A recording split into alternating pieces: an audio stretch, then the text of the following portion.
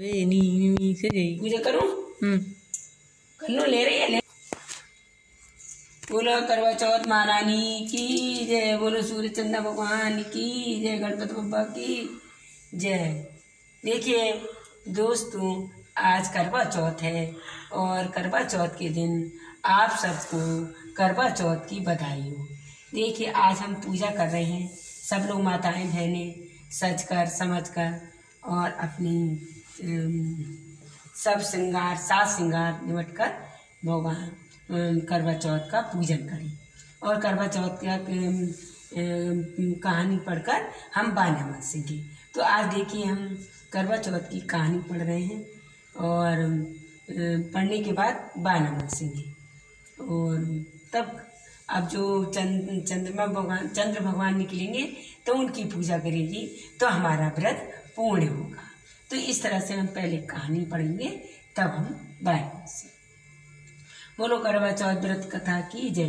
कार्तिक बदी में चार को करवा चौथ कहते हैं, जिसमें गणेश जी का पूजन व व्रत स्वागिन स्त्रियाँ अपने पति की दीर्घ आयु के लिए करती हैं।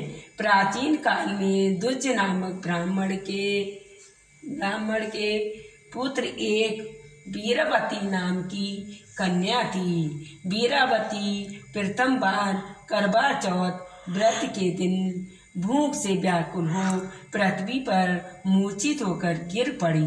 तब सब भाई यह देखकर रोने लगे और जल में मुँह धुलाकर एक भाई बट के वृक्ष पर खड़ा होकर चलनी में दीपक दिखाकर बहन से कहा, चंद्रमा निकल आया है। उस अग्नि रूप को चंद्रमा समझकर दुख छोड़कर वह चंद्रमा को अर्घ देकर भोजन के लिए बैठी। तो पहले कौर में बाल निकला, दूसरे कौर में चीख हुई, तीसरे कौर में ससुराल से बुलावा आ गया और ससुराल में उसने देखा कि उसका पति मरा पड़ा है। संयोग से वहाँ इंद्राणी आई, उसे देखकर विलाप करते हुए।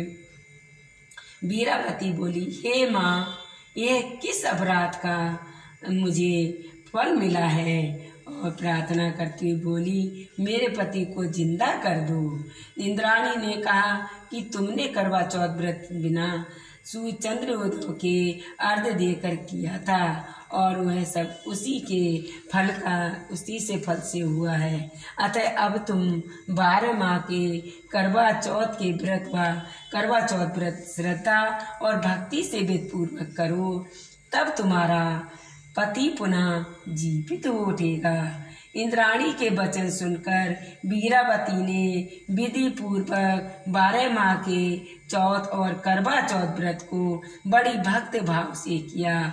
तब इन व्रतों के प्रभाव से उसका पति, पुनः जीवित देवता सदृश जीवित उठा।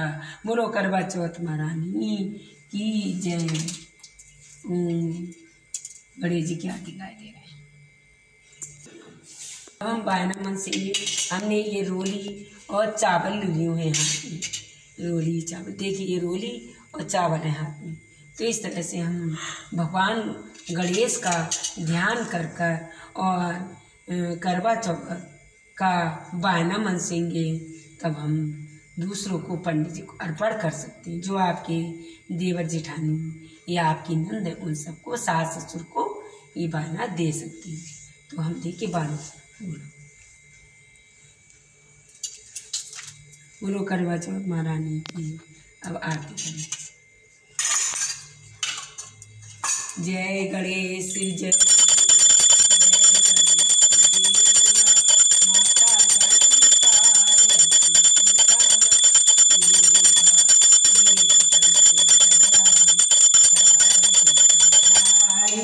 माथे पे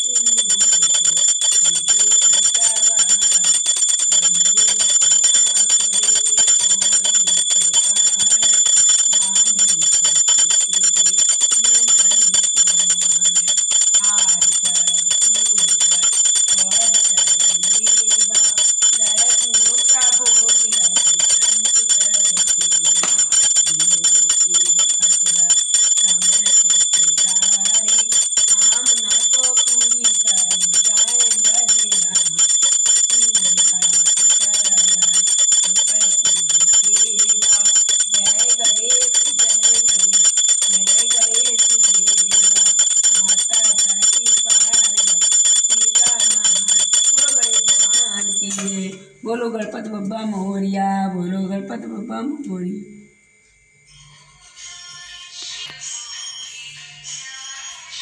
ये बोलो गणेश भगवान की